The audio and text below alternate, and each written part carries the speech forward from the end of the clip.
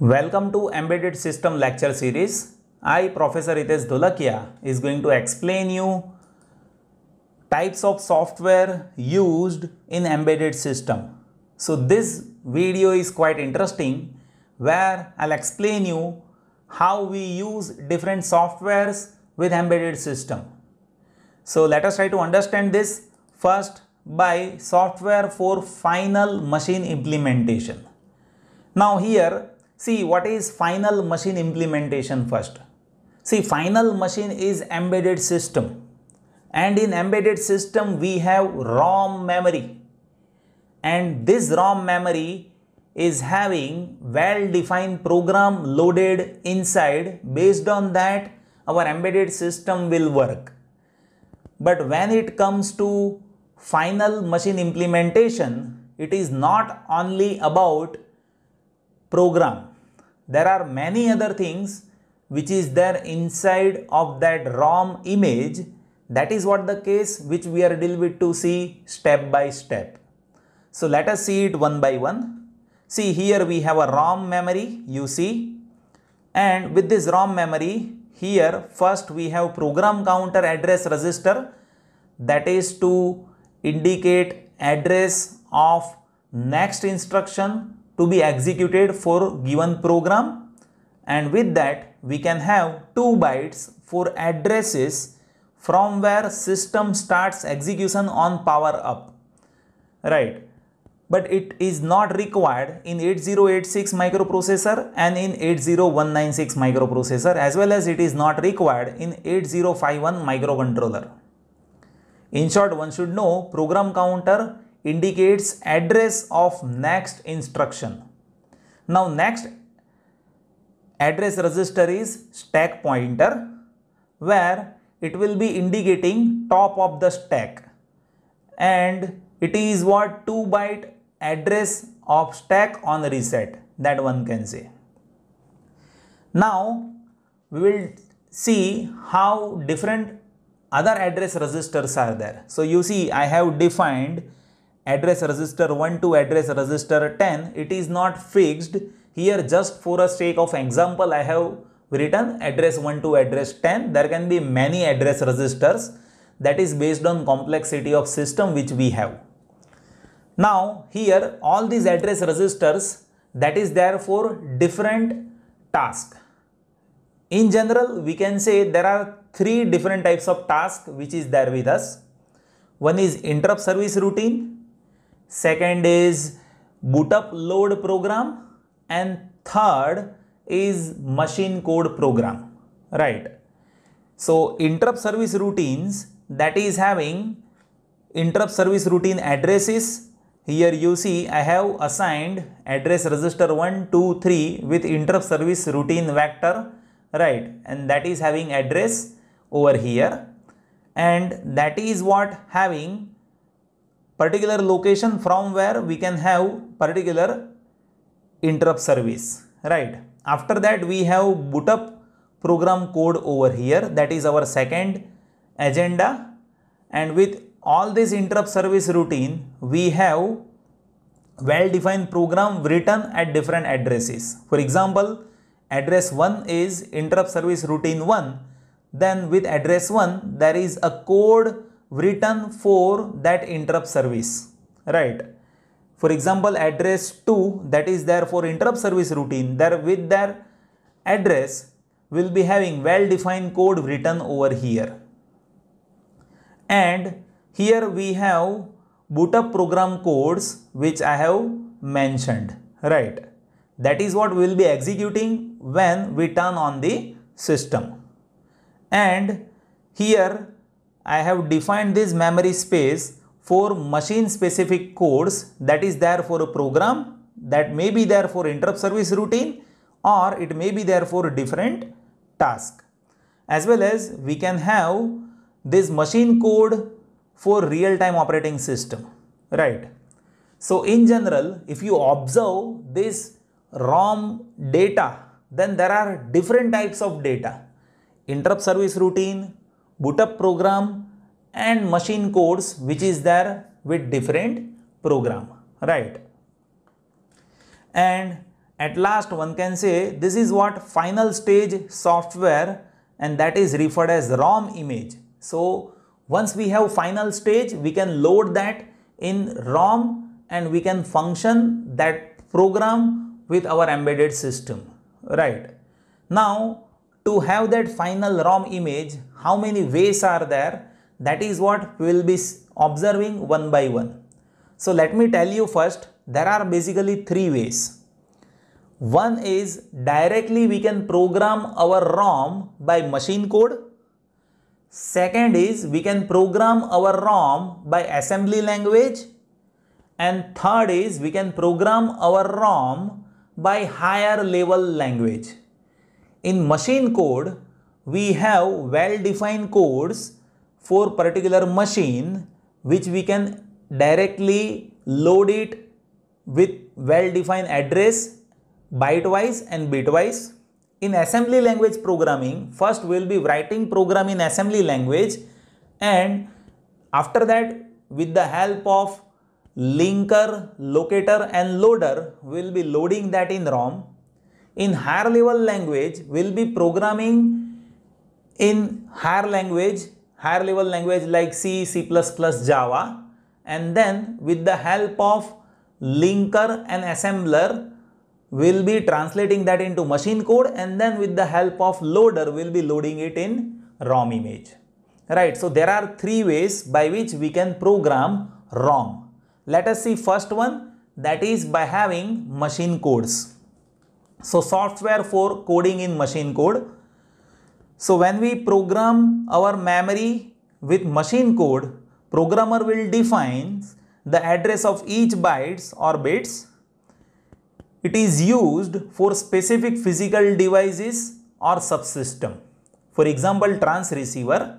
And in trans receiver first we'll be making machine code byte-wise and bits-wise.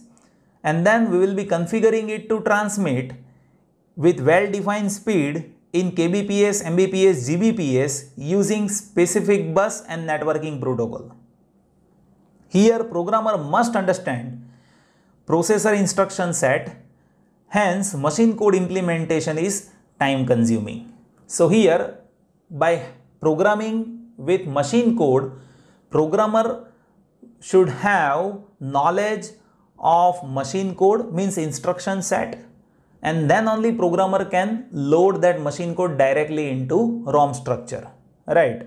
So this is one way by which we can train our ROM memory.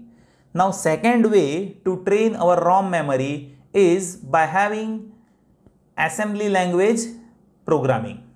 So software for processor specific assembly language. Here also we will be writing codes in assembly language, right? But it is not directly machine code. Remember this. And it requires understanding of processor as well as instruction set. Assembly language is useful for configuring physical devices and to configure physical devices we'll be using input output ports we'll be using analog to digital converter digital to analog converter right so there are many things which we are deal with to configure and for that programmer should have knowledge of instruction set of assembly language with given system here we can configure all those physical devices from the ports using ADC, DAC and line display interface. At last, there will be a conversion process of assembly to ROM image. Now I'll explain you how we can have a conversion process from assembly to ROM image. So to have that conversion, first we'll be having assembly language program, right? and that assembly language program is getting translated into machine code by using assembler. So assembler will convert given assembly language program into machine code but it is having different addresses. Now here we will be having a library and in this library there will be well defined codes right? So what we do is we'll be having a linker, that linker will link this library with machine code and it will reallocate addresses of this machine code right? And at last we'll be having a machine code with well defined addresses right? So here there will be reallocation of addresses and we'll be having a machine code in sequence with well defined addresses.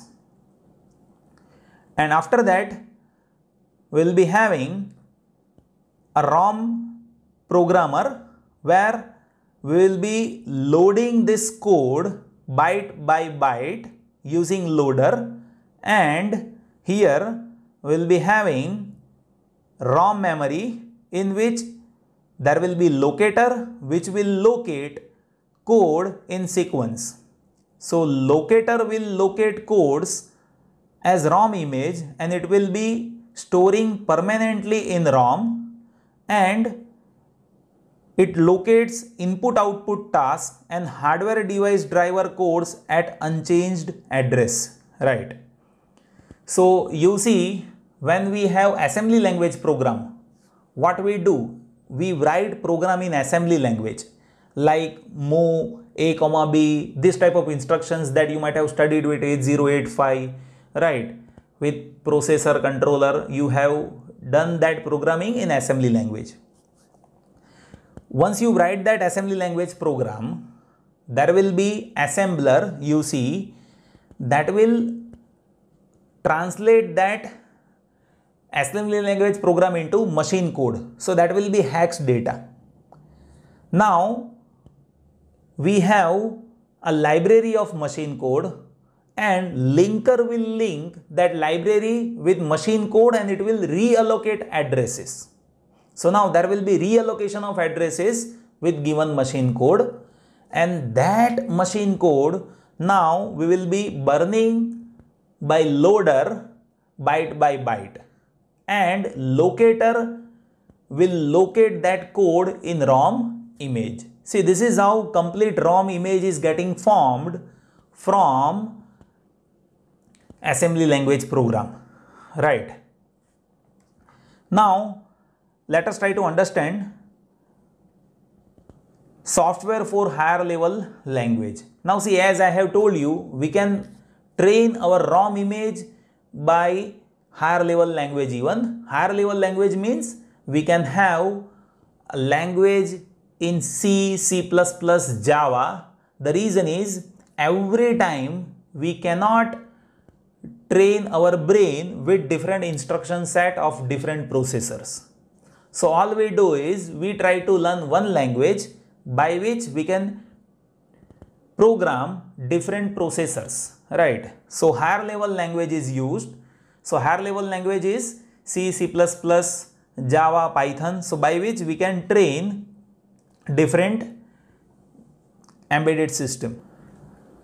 So different programming layers are available with higher level language let us see those layers one by one. So first layer is preprocessor command.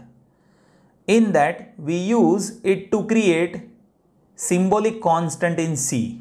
Right. The reason is in C language we have well defined uh, syntaxes.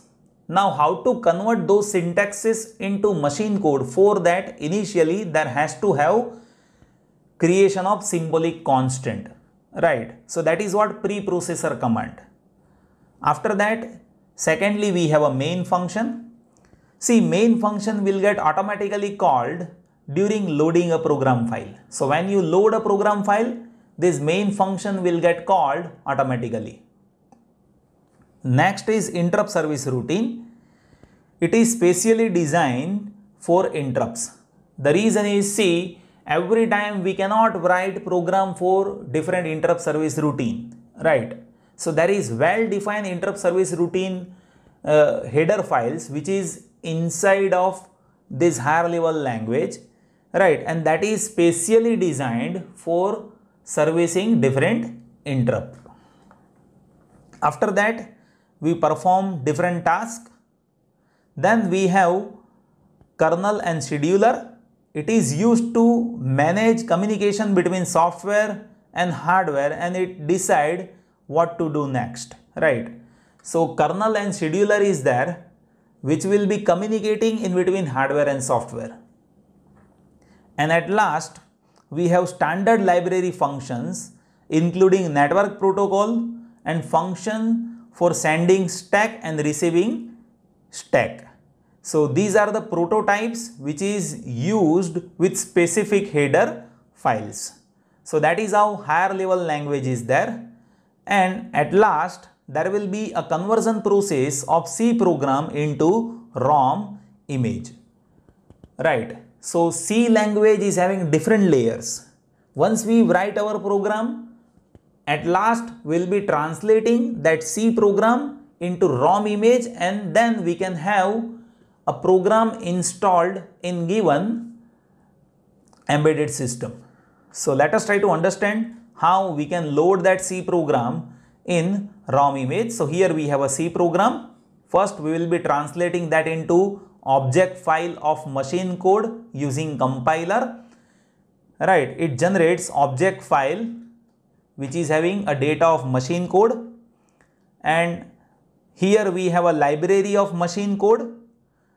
Obviously this library of machine code will get linked by linker with this machine code right so once you link this we'll be having reallocation of addresses and we will be optimizing our code right so here one can say code optimizer or reallocation of memory that is happening and we will be having a machine code over here right and this code optimizer that will improve quality of code and efficiency. Efficiency means it will be reducing length of the code.